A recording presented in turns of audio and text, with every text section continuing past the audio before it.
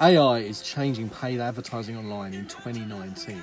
Without a doubt, this is a great opportunity for you now for about three to six months before your competitors will catch up with you. We're already in the process of rolling this out for our customers and we are seeing huge returns on investment already. This is a game changer. If you're not already looking at Google audiences for your paid online advertising, you are missing out and you must watch this video. So what are you're gonna learn, gonna look at this in three steps.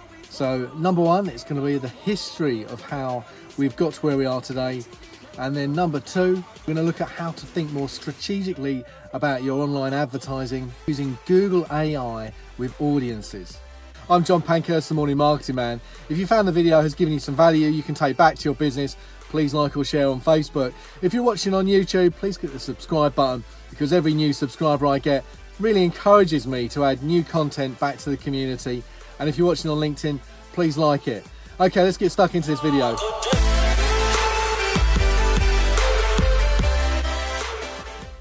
I was at Google headquarters in London this week and I was at a conference on how machine learning is going to dramatically increase returns on investment for people using display ads. What really struck home was the word fast. They kept on talking about everything is changing quickly and the speed and rate of change and how fast everything's happening. So initially, back in like 2000, we had SEO, then there was a big shift about five years later, the fact that everything had to be mobile friendly or built for mobile first. And there was this big surge for social media and pumping your, your messages out through social media. And now there's paid advertising on social media. And now we're looking at machine learning, AI, learning how people engage with your brand over a period of time or where they might be searching for your brand. It's going to give you a big return on investment. We are particularly looking at display ads on Google right now, and this video is about that. So before, display ads were not a great return on investment because it was a, like a scattergun approach. You had your brand being on loads of display ads and you couldn't see a return on investment. It was quite expensive.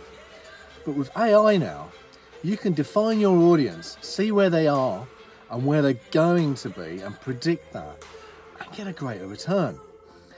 So let's give you an example. A display ad will cost about 10%.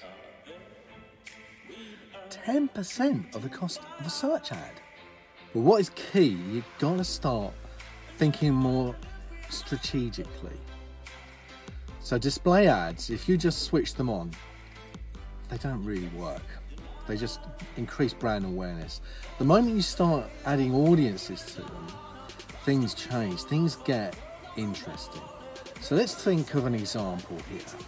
If you were about to buy a house or you were looking to buy a house, you'd probably go to Rightmove. You'd search on Rightmove for a house and then you'd buy it. And now, three or four months later, you've moved in and you knew that you needed to make some home improvements to this house. And you start to look for architects architects or potentially kitchen designers. And then at that point, you might be even looking at kitchen accessories. So if you step back from that, using an audience within Google Ads, you can actually say, I know these people that search for a house at that time, three months forward, are going to be thinking about putting a kitchen into their house. And then you can start to target that kind of person. Isn't that powerful? So this video just cannot be a how-to. It would take at least two hours for me to show you how to define an audience within Google Ads and then manage it going forward. But what I'm going to do is give you six bullet points that you can look at and uh, either implement yourself or start to talk to your agency about making sure they are doing this for you already two uh, articles you should read on Google. One is about Google Audiences and one is Google Audiences live events. And these two particular type of AI audiences, you can use them, combine them together and actually really target where you're going to display your ads and then look at the type of landing page or so the type of product that someone might be searching for and then you can start pushing hard with your ads. Okay, let's look at the, the six key things you're gonna need to do this. So number one, don't sit in front of a computer. You need to be in front of a whiteboard or with your team and sit down and knock ideas around with each other to decide where people are, what they might have been searching for or looking at before they came to your product or service. Because you need to find people early on in the funnel. Put yourself in the shoes of your buyer. Try and understand. So for the, the architects out there that might be thinking about this as a strategy, think about what kind of websites they may have been on before they came to your website. The next thing to do is define where you want to place your ads. So for instance, if it's a kitchen company, you might want to be placing ads on kitchen accessories. So if someone's going to be looking at a big American fridge freezer, chances are they're already looking at design and they're looking at uh, either fridge freezers, ovens, even inserted microwaves. So you've got to think about where they're going to be searching to buy and then you can place display ads on those sites. Next thing is look at your audience. So the demographic of your audience is really key.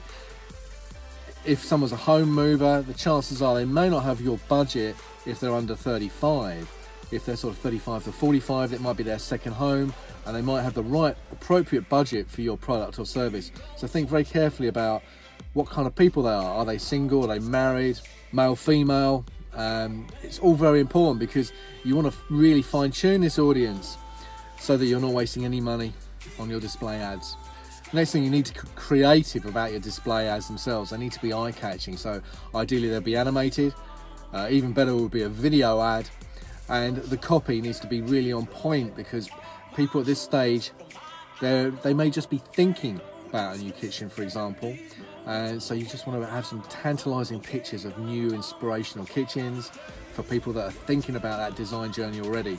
I've been John Pankhurst, the Morning Marketing Man. If you found this has given you some value today, you can take back to your business, please like or share on Facebook. If you're watching on YouTube, please hit the subscribe button because every new subscriber I get really encourages me to add more content like this. And if you're watching on LinkedIn, please click the like button because that will share it with your network. Have a great day.